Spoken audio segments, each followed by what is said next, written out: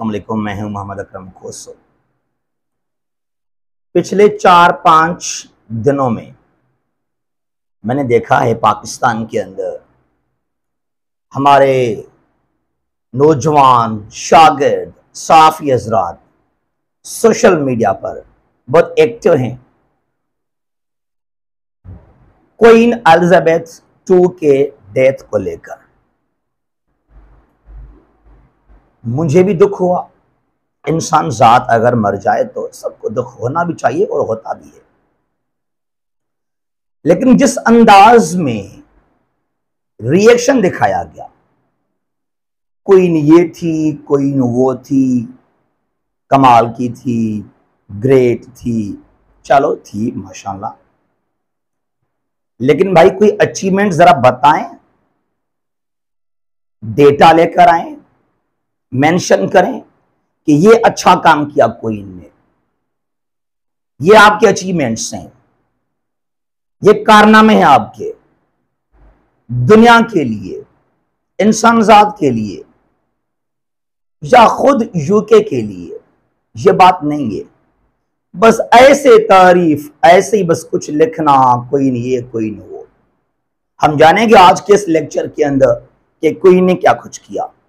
और आज तो पाकिस्तान के अंदर भी सोग मना जा रहा है, जो हमारा नेशनल फ्लैग है, कमी परचम। उसको भी हाफ़ मास्ट पर रखा गया है। ठीक है डिप्लोमेटिकली पॉलिटिकली आपको ये करना भी चाहिए। लेकिन हम जानेंगे आज विद फैक्ट्स एंड फिगर्स कि क्या कुछ हुआ क्वीन के दौर में। क्वीन एलिजाबेथ टू आप पैदा हुई 1926 में और 2022 में आपका इंतकाल हुआ। काफ़ी यंग एज में 1952 से लेकर आपका रैन शुरू हुआ। दौर इकदार पावर 52 से लेकर 2022 यानी के मोर देन 70 इयर्स गुजर गए आपको। 70 साल और कुछ दिन हुए हैं आपके इस दौर को। उन 70 सालों में क्या कुछ हुआ कोइन के दौर में? बहुत दुख होता है, अफसोस होता है और हैरानगी भी होती है इस बात को लेकर। पाकिस्तान के अंदर जिन लोगों ने तारीफ़ किया कोई इनकी फेसबुक हो ट्वीट हो, सोशल मीडिया, व्हाट्सएप हर जगह पर, उनको ये नहीं पता कि क्वीन के पास पावर्स कितने थे और कौन से थे। उनको ये नहीं पता कि यूके के अंदर जो गवर्नमेंट है, किस टाइप का है वो। जो यूके में गवर्नमेंट है that is unitary parliamentary constitutional monarchy यानी तमाम तर जो अख्तियार हैं पावर्स हैं they all are in parliament जो वज़ीर आज़म है प्राइम मिनिस्टर उसके पास तमाम अख्तियार हैं। जो मोनार्की निज़ाम है यूके के अंदर, जो क्वीन थी, नाम पर, रस्मन के तौर पर, और कुछ भी नहीं सरमोनियल इस बात को दोबारा समझिएगा आप। चाहे आज किंग चार्ल्स थ्री जो क्वीन का बेटा है, वो किंग हो गया, उसके पास भी कोई अख्तियार या पावर्स नहीं है, सियासी लिहाज से पॉलिटिकली बस रस्मन तौर पर एक रवाज है, एक रस्म है, उसको कंटिन्यू करने के लिए उनके पास टाइटल्स हैं। जो मोनार्की है यूके के अंदर that is you know limited कहा महदूद है? सिर्फ़ और सिर्फ़ बुकिंगम पैलेस तक महदूद है ये। वहाँ से बाहर नहीं है। तो क्वीन के पास कोई भी पावर्स नहीं थे सियासी लिहाज से। जो भी स्टेप्स लिए यूके के अंदर या आगे भी लेते रहेंगे the powers are given to the parliament to prime minister लेकिन फिर भी जो आप लोगों ने कहा कि क्वीन के दौर में ये हुआ, हालाँकि आपने फैक्ट्स फिगर से बात नहीं की, जज्बात शो की आप लोगों ने। लेकिन आज मैं आपको बताना चाहता हूँ, जो फैक्ट्स फिगर्स हैं क्वीन के दौर में क्या कुछ हुआ? अब दौर तो क्वीन का ही है ना, चाहे क्वीन पावरफुल थी या नहीं थी। But these things happened in her reign सबसे पहले मैंने कुछ यहाँ पर चीज़ें मेंशन की हैं, कुछ नहीं की हैं। यहाँ मैंने नहीं लिखा, मैं यहाँ लिख रहा हूँ। 1953 में ईरान के अंदर जो जमहूरी गवर्नमेंट को टोपल किया गया मोहम्मद मुसद्दिक वज़ीर आज़म थे वहाँ पर। क्वीन का पहला साल है ये। और यूके ने और अमेरिका ने मिलकर टोपल करवाया। किसको? ईरान के मशहूर लीडर वज़ीर आज़म मोहम्मद मुसद्दिक को। फिर उसने को किया था नेशनलाइज लिए। उसके बाद यहाँ से आगे चलते हैं। ये देखिएगा जरा यहाँ पर। अपार्थेड इन साउथ अफ्रीका जो साउथ अफ्रीका में था सिग्रीगेशन वाइट के लिए अलग कुछ कानून, अलग जगह. ब्लैक के लिए कुछ अलग चीज़ें. इट वॉज़ सीग्रीगेशन अपार्थेड उसके बाद जिस तरह का अजीम हीरो को नेल्सन मंडेला को 27 seven years for 27 seven years was imprisoned कहाँ से कहाँ तक? 1963 से लेकर 1990 तक। 27 साल मंडेला को जेल में कैद किया गया। दौर किसका है? दौर को का कितना जुल्म है नाइंसाफी है। एक पुरामन शख्स, एक अजीम लीडर, ह्यूमन राइट्स का चैंपियन, कस्टोडियन, मंडेला, उसको वहाँ पर कैद किया गया। और 1982 में तो मंडेला को फांसी देने वाले थे अंग्रेज़। और यहाँ से आगे चलते हैं। Northern Ireland. एक्चुअली पहले था ग्रेट ब्रिटेन। 1707 से लेकर 1922 1922 तक। फिर क्या हुआ? ग्रेट ब्रिटेन ने कब्जा किया, जो आयरलैंड है वहाँ पर। और कुछ उसका इलाका जो नॉर्दर्न आयरलैंड आजकल कहलाता है, ये ग्रेट ब्रिटेन ने अपने कब्जे में लिया 1922 में। और उसके बाद नाम चेंज हुआ। ग्रेट ब्रिटेन से हो गया यूनाइटेड किंगडम यूके बहरहाल, ये जो कब्जा किया, इसको अपने पास रखा यूके ने, नॉर्दर्न आयरलैंड को। अब यहाँ पहले खुशहाली थी, डेवलपमेंट थी। अब सारे दिन के वसाइल थे, इंग्लैंड ने अपने पास रख लिए। क्योंकि यूके में है यूनिटरी पार्लियामेंट्री गवर्नमेंट यूनिटरी में क्या होता है? All the powers are vested in centre तमाम कहा अख्तियार आते हैं? मरकज के पास होते हैं। जो सेंटर को अच्छा लगे, वही काम करेंगे वहाँ पर। तो लंदन, इंग्लैंड, बहुत ही उनका एक्टिव एक स्टेट है या किंगडम है। तो अब जो स्कॉटलैंड है, नॉर्दर्न आयरलैंड है, वो किसके रहमो करम पर हैं? They are on the mercy of England तो फिर यहाँ पर नाइंसाफियाँ कुछ जुल्म हुए थे।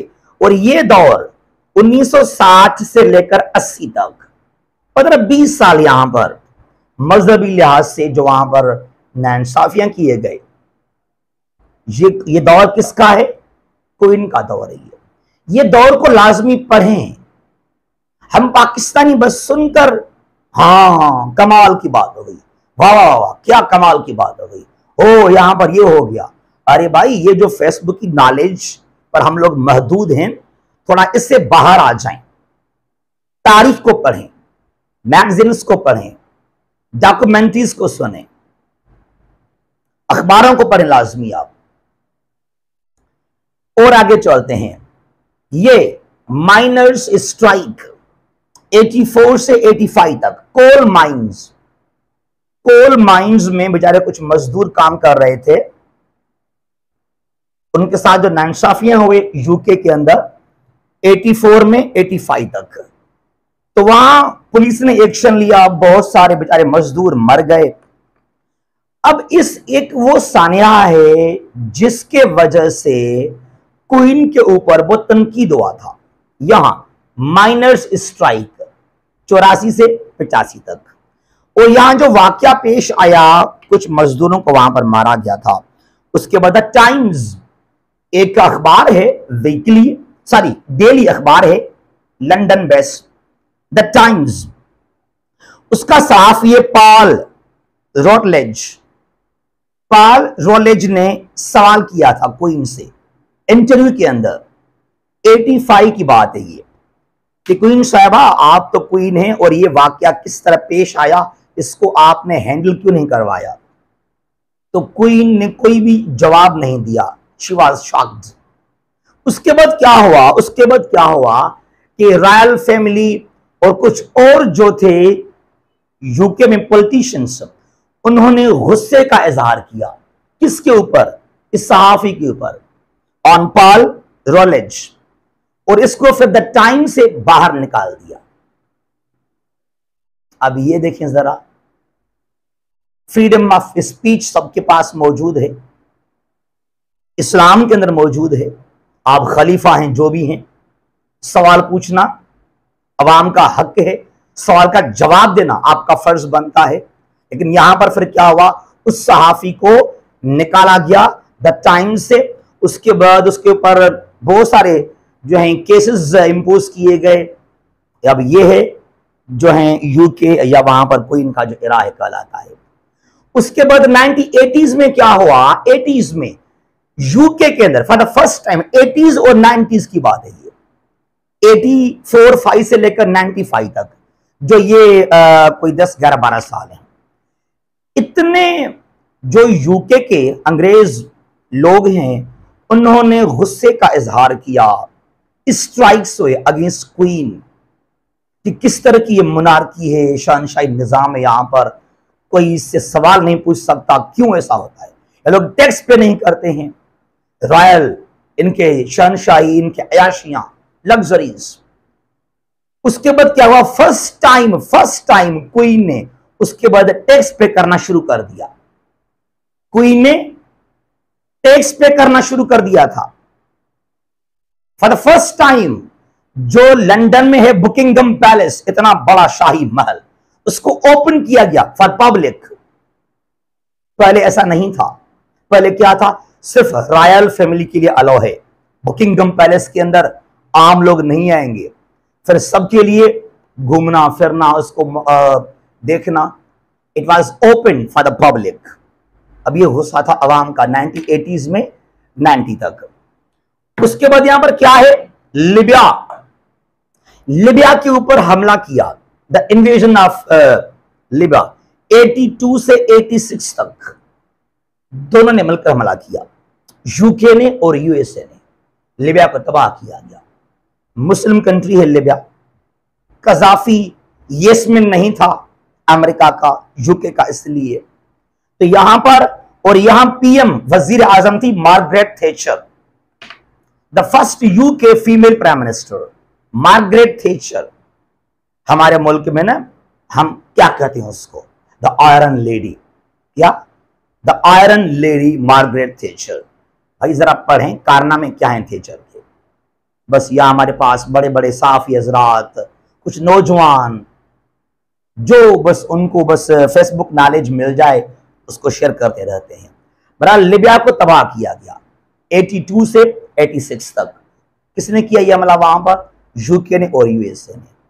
उसके बाद हुआ फाकलैंड वार फाकलैंड एक साउथ एटलांटिक ओशन में दो बड़े जजीरे हैं।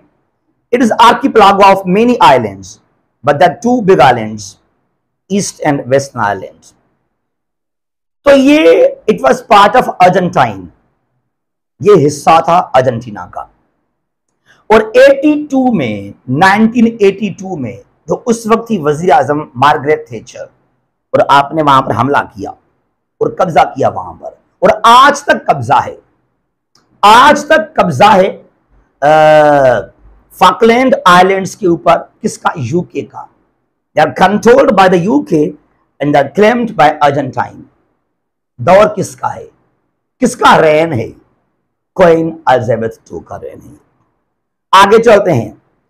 2014 स्कॉटिश इंडिपेंडेंस रेफरेंडम 2014 में वहाँ रेफरेंडम किया गया। क्योंकि मैंने कहा ना यूके में है यूनिटरी गवर्नमेंट चार किंगडम्स हैं वहाँ पर वेल्स और इंग्लैंड दोनों के पास ज़्यादा पावर्स हैं राइट्स मौजूद हैं इंग्लैंड और वेल्स के पास। जहाँ तक बात है स्कॉटलैंड और नॉर्दर्न आयरलैंड की उनके पास इतने राइट्स नहीं है। वो किसके रमो करम पर हैं? इंग्लैंड ठीक हो गया ना? तो स्कॉटलैंड ने चाहा कि हम अलग होंगे सेपरेट कंट्री बन जाएँगे। हुआ रेफरेंडम 2014 में। और तकरीबन जो मेजॉरिटी ने वोट दिया इन फेवर ऑफ़ इंडिपेंडेंस लेकिन हुआ क्या? वहाँ उनके लीडर्स के खिलाफ एक्शन लिया गया जला वतन किया गया, उनको फोर्सली उनको वहाँ से एग्जाइल किया गया। दौर किसका है? दौर क्वीन का है। और भी बहुत सारी चीज़ें हैं जो क्वीन के दौर में अनफेयर हुए हैं, गलत हुए हैं। अब ये मैं नहीं कहूँगा कि क्वीन के वजह से ऐसा हुआ। नहीं। मैं ये भी कहूँगा यहाँ लाजमी कि क्वीन के पास तो कोई राइट्स नहीं थे, कोई पावर नहीं थे। कोई इख्तियार नहीं है क्वीन के पास, नहीं थे पहले। नई जो आज चार्ल्स बन गया है किंग चार्ल्स थ्री इसके पास भी कोई पावर्स नहीं है। पॉलिटिकली जिस तरह पार्लियामेंट को अच्छा लगे, वही काम करेंगे। लेकिन फिर भी दौर किसका है? दौर तो कोई इनका है। तो मैं ये कहूँगा कि तारीफ़ मत करें, ये ना कहें कि कोई इनके दौर में ये हुआ ये हुआ, ये कुछ हुआ। अगर कुछ हुआ भी है तो वो किसने किया? पार्लियामेंट ने किया। ठीक हो गया ना? बहरहाल, ये आपको रिप्लाई है जो आप कह रहे हैं कि क्वीन के दौर में ये अच्छा कुछ हुआ ये अच्छा कुछ हुआ। कौन सा कुछ अच्छा हुआ? और ये बुरा तो हुआ इसको आप देख लें। बुरा भी कितना बुरा यहाँ पर हुआ है। और इसका मैं ब्लेम नहीं लगाऊँगा क्वीन के ऊपर, क्योंकि मैंने कहा, वो रस्मन तौर पर हेड थी, एक क्वीन थी वहाँ पर। और जो आज है किंग चार्ल्स थ्री, उसके पास भी कोई पावर्स नहीं होंगे। All the powers are vested in the UK parliament जरा समझे इस बात को आप। जल्दबाजी से काम ना लें। कुछ पढ़ें तारीख को, कुछ पढ़ें हिस्ट्री को, कुछ पढ़ें फैक्ट्स और फिगर्स को, उसके बाद में आकर तजा यहाँ पर करें। ठीक हो गया। बहुत शुक्रिया।